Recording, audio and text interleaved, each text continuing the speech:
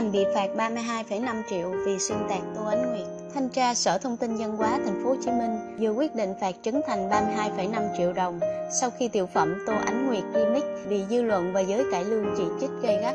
Theo quyết định xử phạt hành chính của Thanh tra Sở Văn hóa Thông tin Thành phố Hồ Chí Minh ký ngày 9 tháng 5, Trấn Thành bị phạt tổng cộng 32,5 triệu đồng. Nam diễn viên bị cho là có những hành vi vi phạm như sau: ra nước ngoài biểu diễn mà không xin cấp phép, phạt 17,5 triệu đồng làm tác phẩm phái sinh mà không xin phép chủ sở hữu quyền tác giả, phạt 7,5 triệu đồng, xuyên tạc tác phẩm, làm phương hại đến uy tín và danh dự của tác giả 7,5 triệu đồng. Quyết định của thanh tra Sở Văn hóa Thông tin Thành phố Hồ Chí Minh dựa vào điều 57 và điều 68 Luật xử lý vi phạm hành chính năm 2010 quy định về xử phạt vi phạm hành chính về quyền tác giả, quyền liên quan, Nghị định số 158 2013 NDCP của Chính phủ, quy định về xử phạt vi phạm hành chính trong lĩnh vực văn hóa, thể thao và du lịch, quảng cáo và căn cứ biên bản vi phạm hành chính về lĩnh vực văn hóa thông tin, quy định về xử phạt vi phạm hành hành chính trong lĩnh vực văn hóa, thể thao, du lịch, quảng cáo và căn cứ biên bản vi phạm hành chính về lĩnh vực văn hóa thông tin số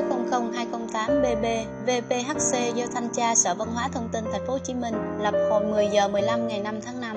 Ngoài Trấn Thành, Anh Đức, nghệ sĩ nhân dân Ngọc Dầu cũng bị phạt hành chính số tiền 15 triệu đồng mỗi người vì hành vi ra nước ngoài biểu diễn không xin phép. Hiện tại, Trấn Thành nằm viện vì nhổ răng khôn. Liên lạc với anh Đức, nam diễn viên xác nhận tôi đã nhận được quyết định xử phạt hai ngày trước.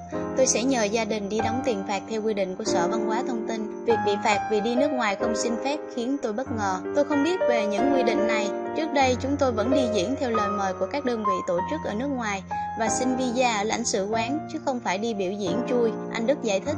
Trước đó, trong buổi làm việc với Sở Văn hóa Thông tin Thành phố Hồ Chí Minh, anh cũng có ý kiến về điều luật liên quan đến biểu diễn của nghệ sĩ tự do như mình. Cơ quan quản lý về văn hóa không phổ biến luật, làm sao chúng tôi biết mà thi hành? Tôi hy vọng cơ quan quản lý sẽ tạo điều kiện để nghệ sĩ chúng tôi hoạt động.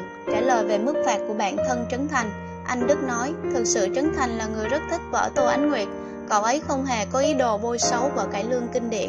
Tô Ánh Nguyệt là một trong những vợ cải lương kinh điển của sân khấu cải lương do soạn giả Trần Hữu Trang soạn từ năm 1935. Tác phẩm từng gắn liền với tên tuổi của nghệ sĩ nhân dân Lệ Thủy. Trước Tết 2016, Trấn Thành cùng anh Đức, nghệ sĩ nhân dân Ngọc Dầu diễn tiểu phẩm Tô Ánh Nguyệt remix trên sân khấu hải ngoại. Sau này, khi tiểu phẩm được đăng trên mạng thu hút nhiều người xem. Tuy nhiên, sự cải biên của Trấn Thành gây nhiều luồng dư luận trái chiều. Rất nhiều nghệ sĩ cải lương như nghệ sĩ ưu tú Hoa Hạ, nghệ sĩ ưu tú Kim Tử Long, giám đốc nhà hát Trần Hữu Trang, Trần Ngọc Dầu và nhiều nghệ sĩ khác đều gay gắt phản đối sự thể hiện của Trấn Thành trong vai Tô Ánh Nguyệt.